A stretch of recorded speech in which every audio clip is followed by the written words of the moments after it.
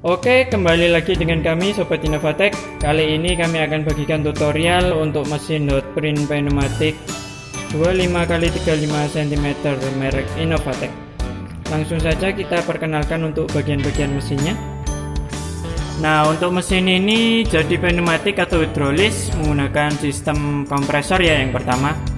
Jadi dia untuk tekanannya lebih stabil dan lebih untuk hasil pressnya lebih juga lebih baik. Lalu untuk bagian-bagiannya di bawah sini ini untuk alasnya yang pertama. Jadi alas untuk penempatan nanti bahan nutrinnya. Dan di sini ini bagian untuk settingan tempat alasnya ini agar rata jadi baut-baut di sekeliling ini agar rata nanti bisa disetting disesuaikan lalu di bagian kanan ini ini tempat untuk menaruh bahan nantinya. Bahan noteprinnya lalu kita ke kiri. Di sini untuk bagian naruh hasil tarikan bahan. Nanti melalui sini taruh bagian sini jadi tarik otomatis. Lalu kita ke bagian display yang pertama di sini ada tombol switch power. Yang kedua ini switch untuk suhunya. Yang ketiga ini untuk fit move menggunakan tombol kaki atau manual.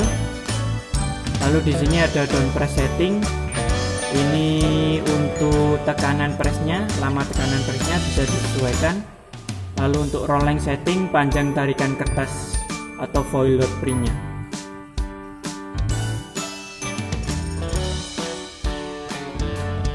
lalu di bagian bawah sini terdapat untuk tombol tuas untuk startnya yang hijau untuk yang merah tombol stopnya.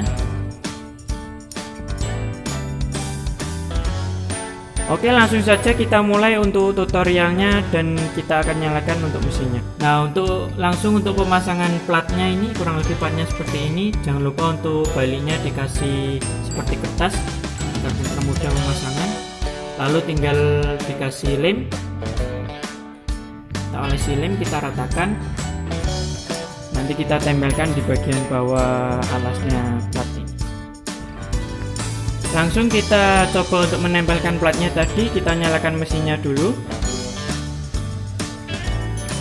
Kita taruh untuk bagian platnya kita tarik dulu alasnya. Kita taruh. Disesuaikan untuk posisinya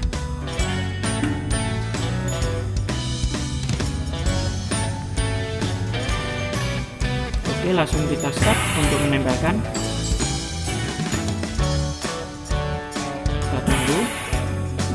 Nanti kalau sudah tertempel hasilnya kurang lebih.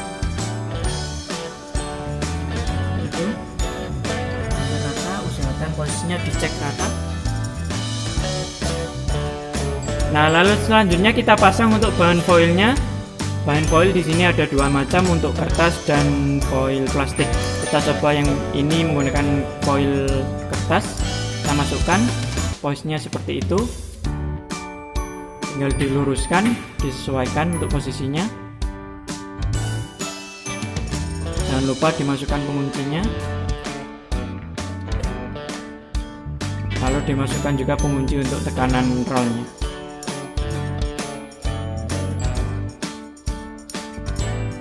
Lalu kita tarik melewati bawah.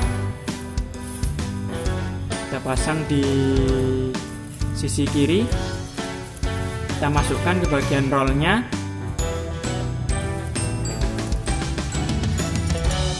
Nah dia menjepit lalu kita tarik.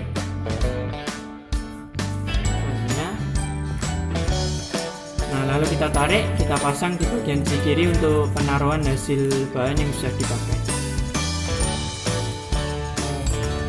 oke kita ke bagian display. Nah di sini untuk suhunya bisa kita klik set untuk mengatur. Dan nanti berkedip tinggal ditekan ke atas untuk menambahkan ke bawah untuk mengurangi. Dan kalau sudah tinggal ditekan set.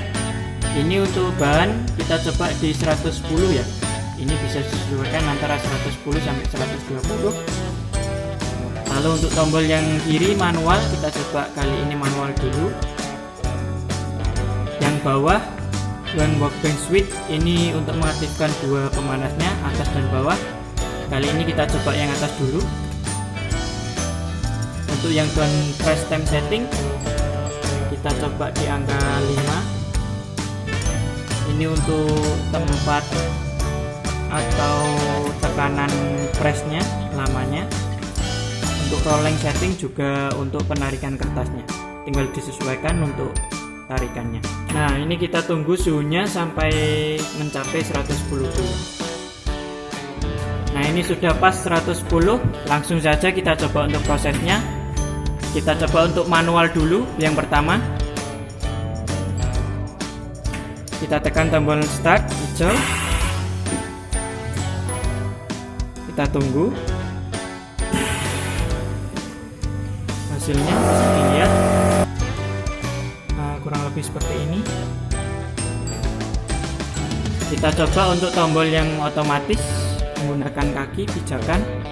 Buat sekali lagi ditekan tombol kakinya.